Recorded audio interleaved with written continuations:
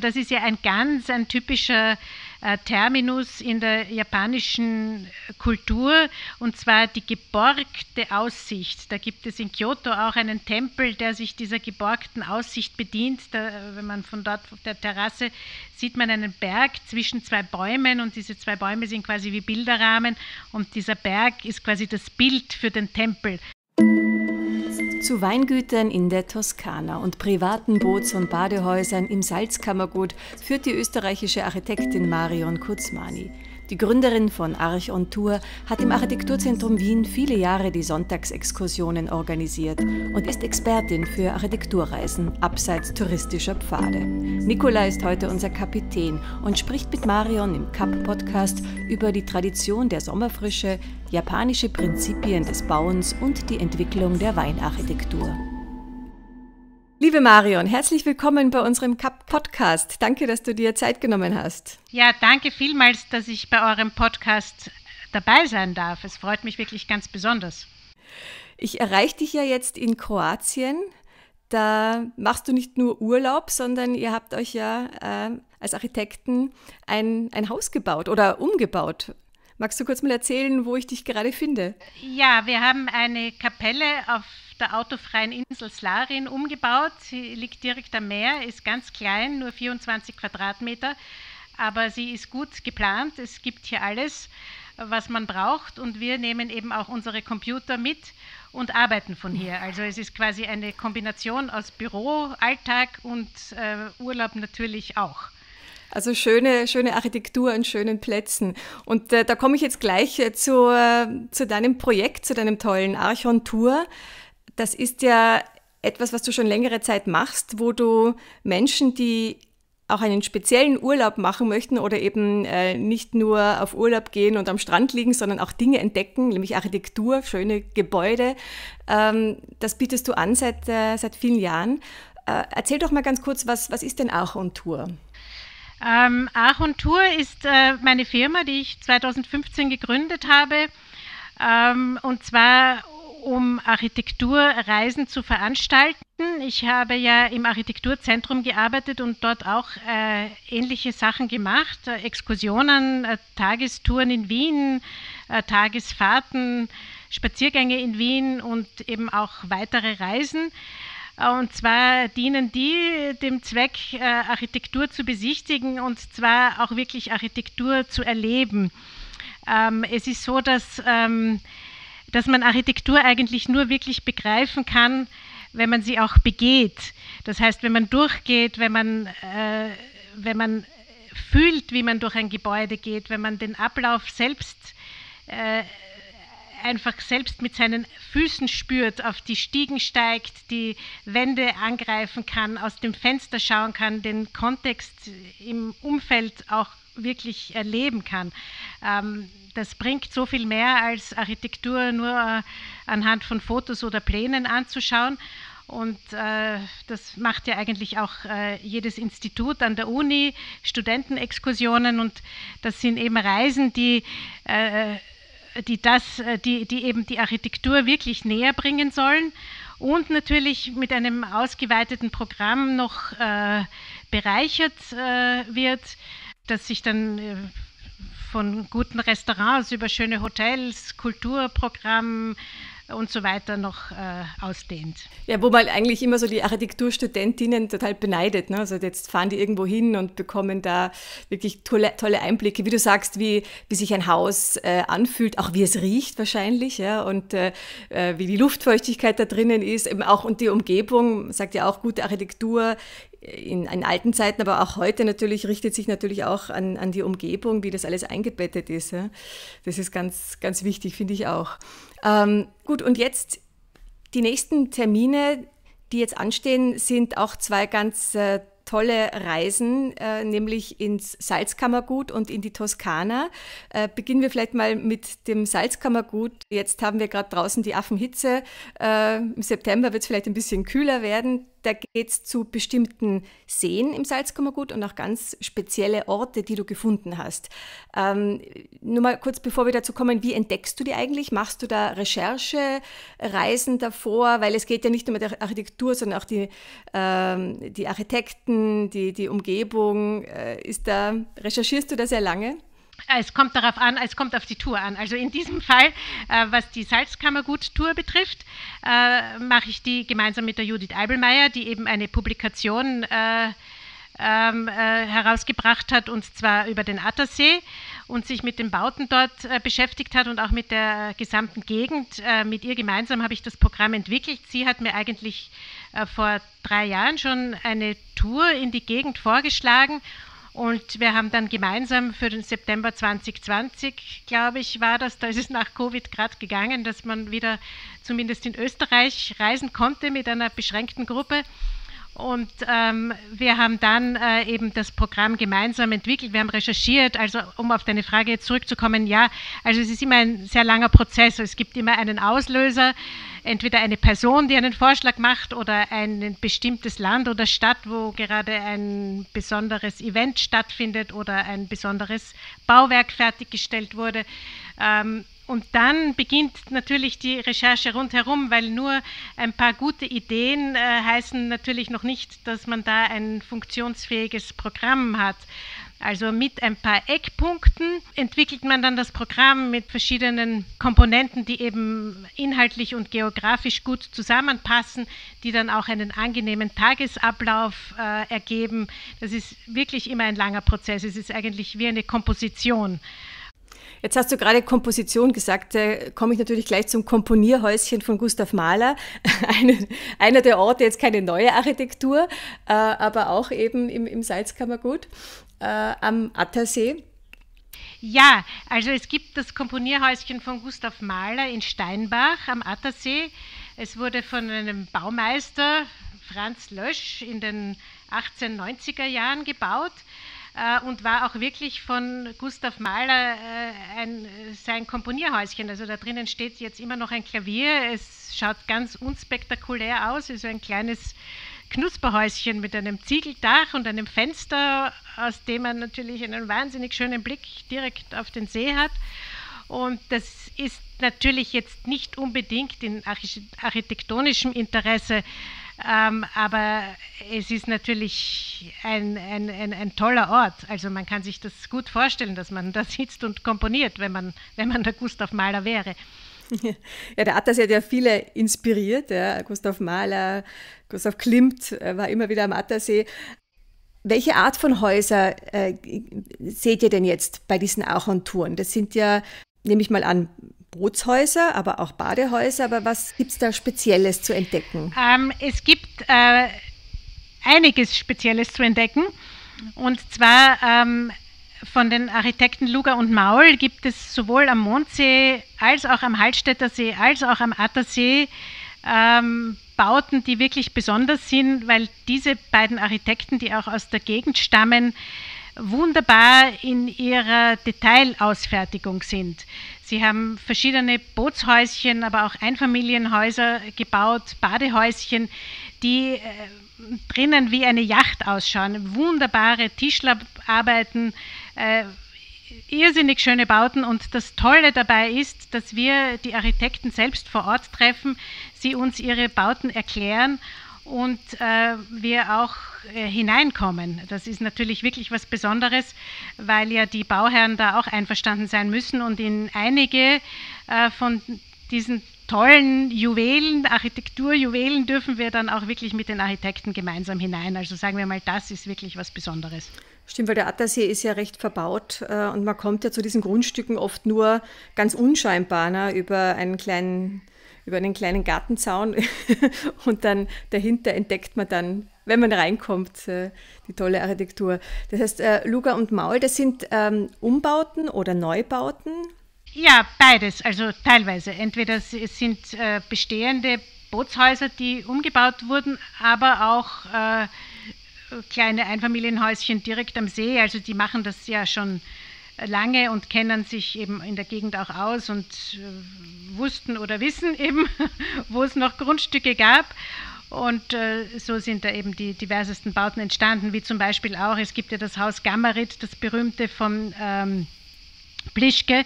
Und da ist ein äh, von der gleichen Familie, die das Haus Gammerit besitzt, wurde noch ein Neubau etwas unterhalb errichtet auf dem Familiengrundstück. Also das gibt es natürlich auch. Und das sind Grundstücke, das ist natürlich auch immer so, auch kritisch natürlich, wie baut man an einem See? Ja? Also dass äh, etwas, entweder bettet man es richtig ein, dass man es gar nicht so bemerkt oder, oder wie, wie passt man das in die Umgebung an? Ne? Weil wenn man schon sagt, ein See ist jetzt stark verbaut, ähm, wie haben die das gelöst, die Architekten? Also, dass es stark verbaut ist, das können die Architekten natürlich nicht lösen, weil wenn jemand ein Grundstück besitzt, ja, es gibt ja quasi diese, diese Grundstücke werden ja immer kleiner, also diese Fahnengrundstücke, wo gerade noch ein winziges Stück äh, Platz vorhanden ist, um da einen kleinen Seezugang zu bekommen. Also das können die Architekten natürlich nicht so beeinflussen, das ist eher mehr eine, eine stadtplanerische Sache. Ähm, aber es ist natürlich fein, wenn wenn nicht zu viel Neues dazugebaut wird, wenn eben Vorhandenes benutzt wird. Und das sehen wir auch sehr gut äh, bei einem Pfahlbau, einem bestehenden, den eine befreundete Familie erstanden hat. Es ist ein Pfahlbau, der in den 1930er Jahren errichtet wurde, in den 50er Jahren umgebaut wurde und jetzt von der Judith Eibelmeier, meiner Kollegin, mit der ich eben die Tour gemeinsam mache, äh, saniert wird. Und äh, da kann man eben sehr gut auch über die Idee des Pfahlbaus sprechen und über die ressourcenschonende Art, wie man mit solchen Ferienhäuschen umgeht. Also da kann ich natürlich auch jetzt gleich noch einmal darauf zurückgreifen, wie wir ganz am Anfang gesprochen haben, äh, dass wir hier auf dieser kroatischen Insel eben eine bestehende Kapelle umgebaut haben, die eine Ruine war. Also wir haben uns da auch schonend verhalten. Und das finde ich auch richtig, dass man eben die Landschaft nicht zu sehr äh, verbaut. Also solche Projekte mhm. sind immer zu mhm. begrüßen und das wollen wir natürlich in, bei der Exkursion auch äh, herausstreichen. Ja, eben das bestehende auch äh, Bestandsgebäude zu renovieren, sanieren oder adaptieren oder vielleicht erweitern ein bisschen. Ne? Aber du sagst, es ist wenig Platz da. Ich habe ja vor kurzem am Traunsee auch äh, ein Haus äh, besichtigt, nämlich äh, das ist was anderes, eine, eine Landwirtschaftsschule, eine, ein Agrarbildungszentrum, auch alles aus Holz, äh, das auch eben natürlich den Blick auf den Traunsee, die Natur mit einbezieht. Und äh, da fand ich so interessant, die Direktorin hat gemeint, wir brauchen hier keine Bilder aufhängen, wir haben die Natur. Ja. Und wirklich, du findest dort keine Plakate und sonstiges, du hast nur überall wahnsinnig viele Ausblicke nach draußen und äh, holst dir den See und den Traunsee herein. Ne. Ja, das stimmt genau, was du sagst. Und zwar, man braucht kein Bild. Also das ist ja ein ganz ein typischer äh, Terminus in der japanischen Kultur. Und zwar die geborgte Aussicht. Da gibt es in Kyoto auch einen Tempel, der sich dieser geborgten Aussicht bedient. Da, wenn man von dort auf der Terrasse sieht man einen Berg zwischen zwei Bäumen und diese zwei Bäume sind quasi wie Bilderrahmen. Und dieser Berg ist quasi das Bild für den Tempel. Mhm, wunderschön. Und die Pfahlbauten, also die, die Häuser am See, die sind ja quasi im, in, in der Erde und, ansonsten die Bootshäuser sind quasi Pfahlbauten. Ähm, sind das, äh, das sind ja teilweise ganz alte äh, Bootshäuser. Äh, wie, wie werden die heutzutage so schonend saniert oder umgebaut? Ja, das ist ähm, das Bootshaus, das wir dann sehen, ist am Attersee. Äh, da gibt es so eine ganze Pfahlbausiedlung und äh, die wurden natürlich gebaut, um äh, Hochwasserstände zu überleben. Teilweise als Bootshäuser wurden sie gebaut, aber eben auch als Kombination zwischen Boots- und, und, und Wohnhäuschen, also was in diesem Fall äh, der Fall ist. Es, wird, äh, es wurde saniert indem ganz geringe äh, Eingriffe gemacht wurden. Also teilweise hat man versucht, äh, Farben nachzumischen und um dann quasi so einen den gleichen Farbton eben im Inneren zu bekommen und die Fenster neu gemacht, das Bad, die Dusche, also solche Dinge, die natürlich wichtig sind, um dort gut leben zu können. Aber es wurde, wurden keine äh, großen Veränderungen vorgenommen. Ja, braucht man nicht. Gell? Jetzt hast du vorhin erzählt, die die Judith Eibelmeier hat ein Buch herausgebracht, eine Publikation, Der Attersee, die Kultur der Sommerfrische. Ja. Der Attersee ist ja schon seit, äh, seit vielen Jahrzehnten für Künstlerinnen und Künstler ein, ein Sehnsuchtsort eigentlich. Ja? Und eben natürlich auch für viele Touristinnen, die dort Sommerfrische machen wollen. Äh, welche kulturhistorischen oder was wird sich denn noch auf der Reise ergeben, auf der Aachen-Tour? Äh, zu welchen Städten kommt man denn noch oder was ist denn, was begleitet denn euer Programm? Weil ich glaube, du hast ja sicher noch äh, einiges äh, im Gepäck. Ja, also wir schauen eben zuerst den Traunsee an. Äh, da sind wir dann auch noch äh, äh, nach dem Haus von der Christa Buchinger in Traunkirchen. Ähm, wo wir ähm, die Kirche besichtigen und eine Galerie, eine wunderschöne, die in einer ehemaligen Bootswerkstätte äh, untergebracht ist. Und dann fahren wir an den Hallstätter See, wo wir uns abseits der touristischen Pfade bewegen. Also wir fahren zwar schon hinauf auf die neue Aussichtsplattform, um einen Überblick zu bekommen, aber wir schauen uns dann die HTL an, äh, die wirklich wunderschön ist. Und äh, also ich denke mir, dort müsste man in die Schule gehen. Äh, die hat erstens einen wunderbaren Seeblick, aber auch ganz tolle Klassen. Da gibt es zum Beispiel eine Klasse für Instrumentenbauer drinnen. Ich habe sowas überhaupt noch nie gesehen. Da kann man selbst äh, Geigen und Gitarren und alles Mögliche bauen und dabei auf den Hallstätter See schauen. Das ist einfach fantastisch. Und dann fahren wir eben weiter an den Attersee und dann zum Schluss an den Mondsee. Also es sind überall so ganz besondere Dinge. Und eben auch am äh, Hallstätter See hat Luger und Maul auch noch ein Häuschen gebaut. Das ist so direkt im Berg drinnen, äh, passt sich der Topografie dort an und steckt so zwischendrin, zwischen den anderen Häuschen. Also es gibt viel zu entdecken, ähm, ähm, was man eben als, als normaler Tourist nicht sieht. HTL, äh, nur um es zu erklären, ist eine höhere technische äh, Lehranstalt, ne? also eine, eine Schulform. Äh, wer hat die dort errichtet? Welche Architekten? Äh, Regione Architekten 2015 und wir bekommen eben eine Führung von dem ehemaligen Werkstattleiter dieser äh, Schule, der uns da sehr enthusiastisch auch schon das letzte Mal alles erklärt hat mit großer Freude. Also es ist natürlich fein, wenn man das dann auch noch so mit viel Herzblut nahe gebracht bekommt. Hast du dir mal die Frage gestellt, warum so viele Künstlerinnen, Künstler, Architekten, also Kulturschaffende da gerne, warum es die so in, die, in diese Gegend zieht, zu diesen Seen? Ich meine, es gibt natürlich schon viel Tourismus, aber zum Beispiel meine Mutter ist als Kind dort äh, sehr viel hingefahren. Also die, die Zeit war eigentlich eher so mehr in der Nachkriegszeit. Äh, wie die Leute ja noch nicht so weit weggefahren sind. Da war der Attersee natürlich von höchstem Interesse. Und äh, meine Mutter hat zum Beispiel, meine Großeltern haben einen Bauern, äh, in einem Bauernhof äh, Zimmer gemietet gehabt. Es war ein bisschen höher gelegen und sind dann da jeden Tag runtergestapft und haben im Attersee gebadet. Also da war das für sie das höchste der Gefühle, da an den See zu fahren aus Wien. Jetzt ist es schnell erreichbar, der Zug fährt schnell hin oder auch mit dem Auto. Aber äh, das war halt damals wirklich so das Urlaubsziel und eben auch für die Künstler wie Klimt und, und Maler und so weiter äh, war das ein begehrter äh, Ort. Äh, das ist sicherlich, wo die Judith Eibelmeier auch in ihrer Publikation Bezug darauf nimmt, was es historisch bedeutet hat und was sich daraus entwickelt hat. Es gibt ja so verschiedene Wunschorte in Wien, wo man aufgrund, zwar aufgrund der Landschaft und, und, der, und der Möglichkeiten, die man dort eben hat, um Urlaub zu machen, der landschaftlichen, also sei es jetzt ein See oder ein Berg, Schnee, Wasser, was auch immer, ähm, oder ein nettes Städtchen und so weiter. Das ist, ist, natürlich vordergründig, dass das attraktiv ist, aber das zweite, der zweite Grund ist dann die Gesellschaft, die sich an solchen Orten ansammelt und die zieht natürlich wiederum andere Menschen an. Das gleiche Phänomen ist ja zum Beispiel in Kitzbühel, nicht? genau.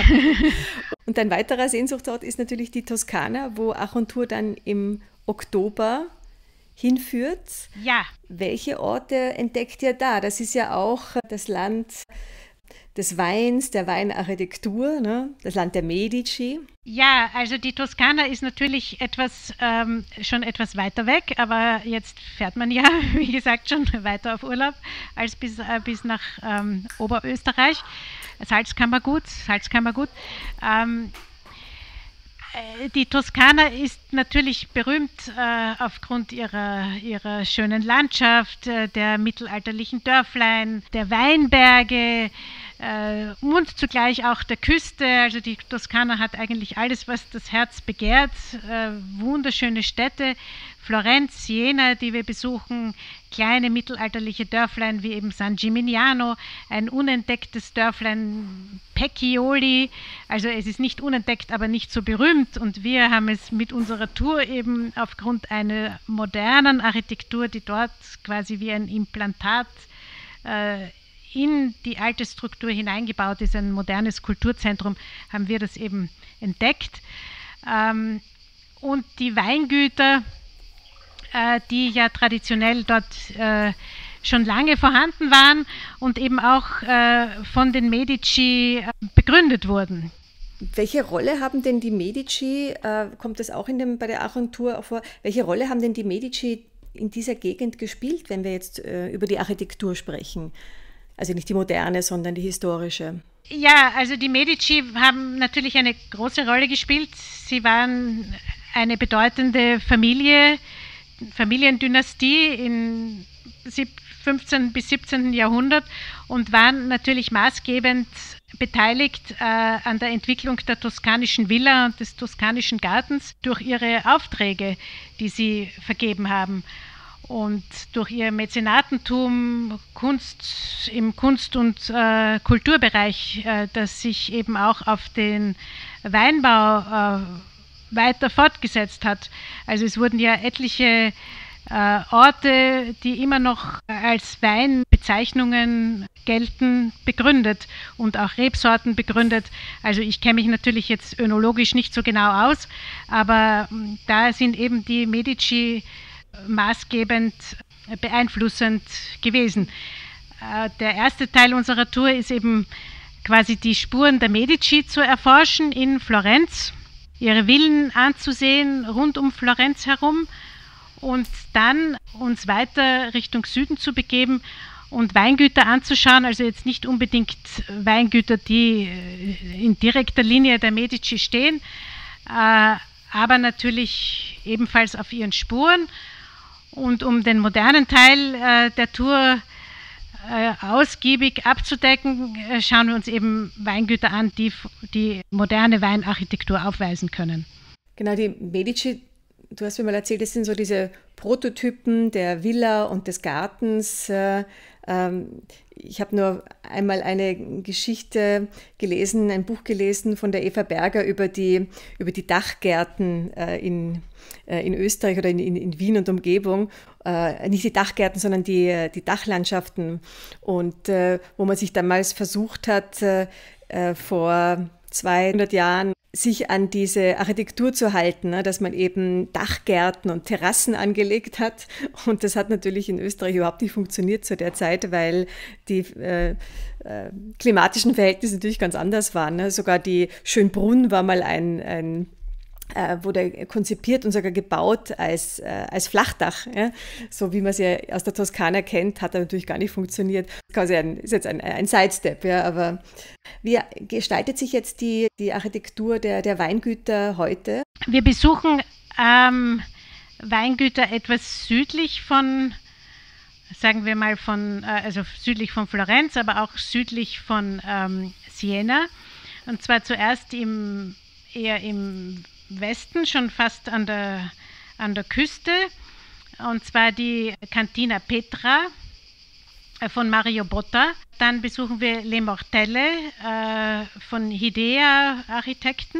Dann die Tenuta Amiralia Frescobaldi, wo wir überall Weinverkostungen machen, das äh, Weingut ansehen, äh, auch teilweise dann Mittagessen und rund um dieses ähm, Weinguts eben auch die, die Gegend anschauen.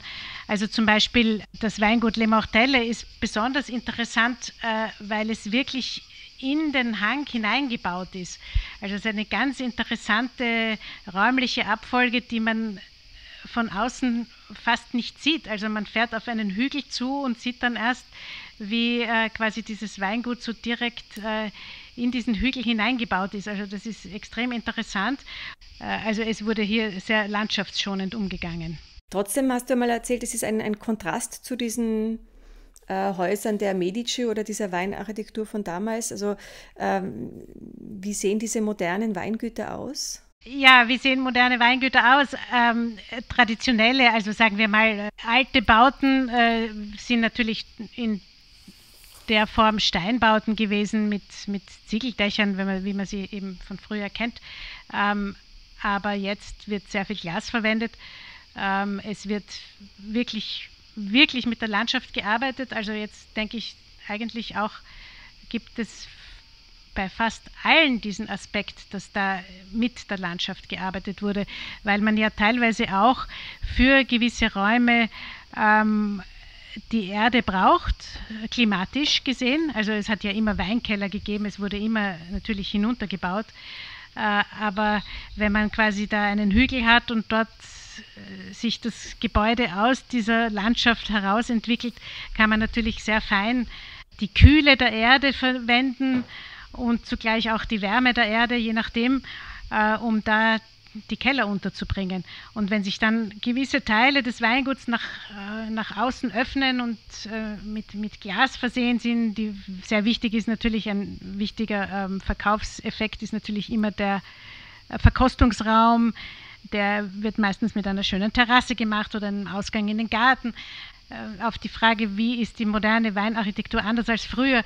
Früher war es vielleicht weniger repräsentativ, also da war es eher der, der Keller, der Produktionskeller und ähm, ein Lagerraum und, und, und das war es eigentlich. Also der hat sich eigentlich eher mehr auf die, auf, die, auf die Produktion beschränkt und vielleicht auch für die Winzer ein Wohnhaus daneben oder für die Arbeiter. Und jetzt auch durch neue Produktionsformen andere Keller, also jetzt gibt es ja auch Stahlkeller, nicht nur den Holzkeller, es gibt Stahlkeller, Barrikkeller, es gibt kleine, äh, fast wie chemische Laboratorien, wo diese, wo die, wo die Gärung überwacht wird, computertechnisch überwacht wird.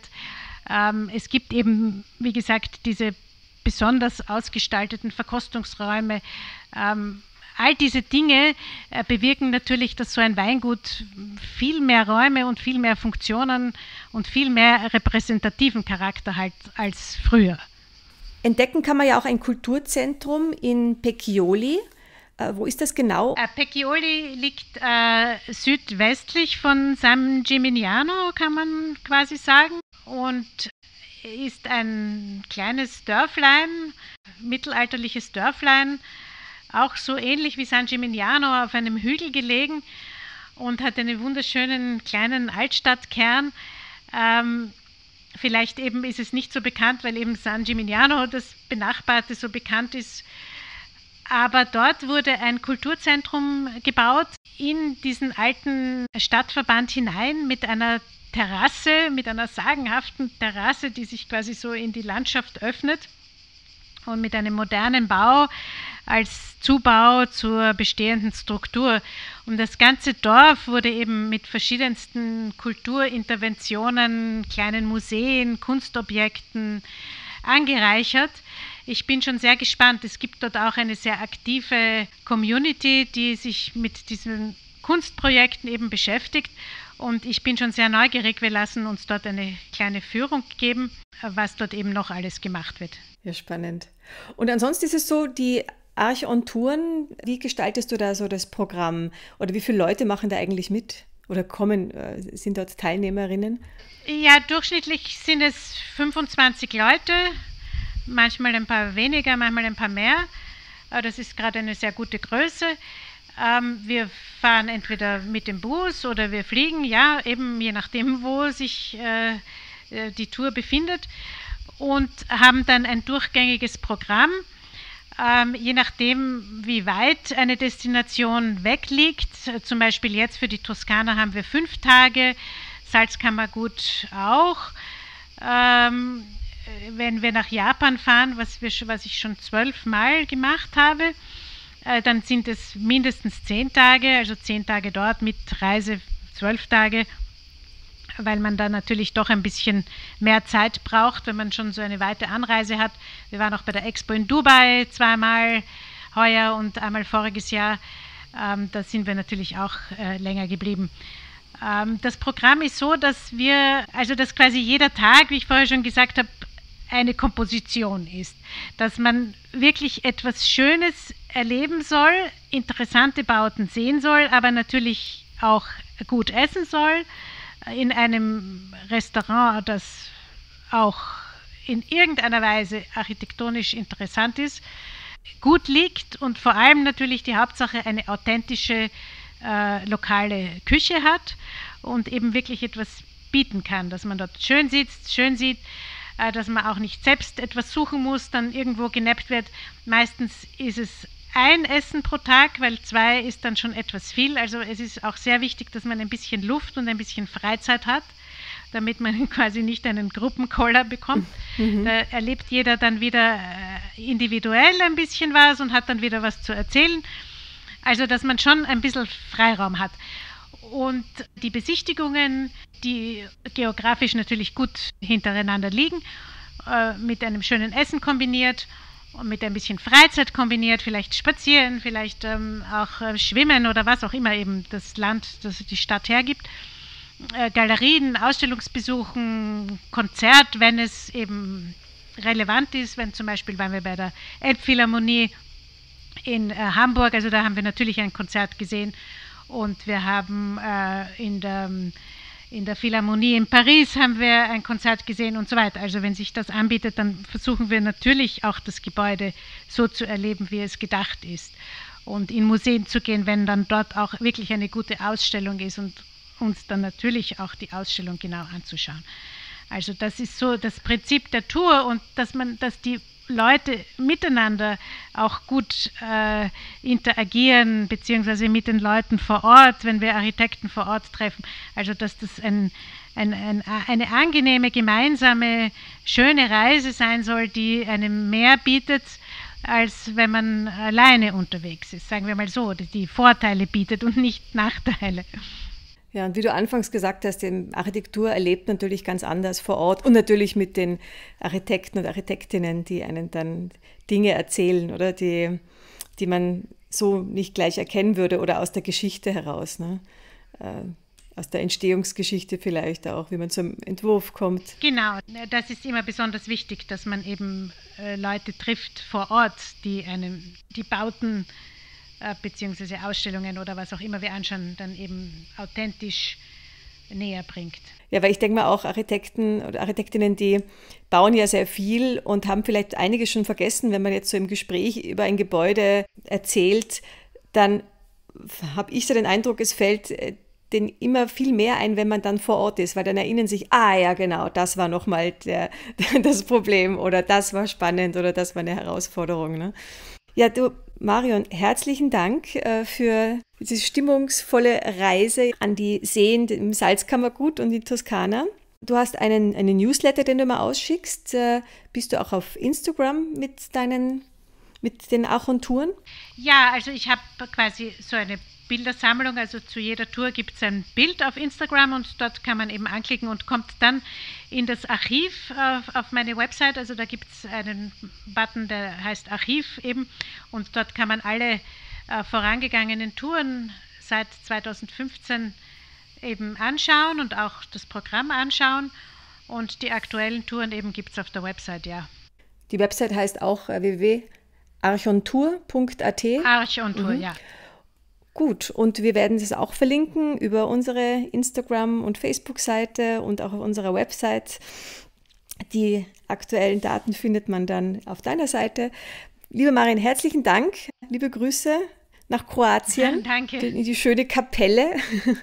Und ja, alles Gute und äh, toi toi toi für deine, für deine Reisen und für deine Projekte. Danke vielmals für das schöne Gespräch äh, und es ja. freut mich sehr, dass es von Interesse ist und ich freue mich natürlich immer über neue Teilnehmerinnen und äh, heiße alle herzlich willkommen. Äh, es ist zwar ein architektonisches Programm, aber selbstverständlich auch zugänglich äh, für alle, die Architektur interessiert sind. Herzlichen Dank. Dankeschön. Ciao. Ciao.